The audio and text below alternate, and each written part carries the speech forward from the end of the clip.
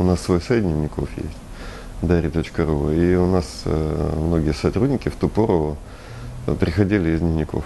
То есть мы их там узнавали, э, видно было, что человек хороший, положительный, потом он вдруг говорил, что ищу работу. А ты кто? Там, я бухгалтер там.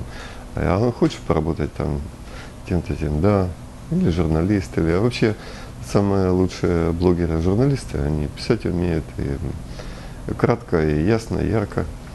Вот. А у нас как раз-то наша тема, половина сотрудников журналисты, и мы э, набирали оттуда многих. И программистов, и дизайнеров там. Вот, то есть в НИКе ты просто видишь, что человек порядочный, человек хороший, человек близкий, он вольется в коллектив.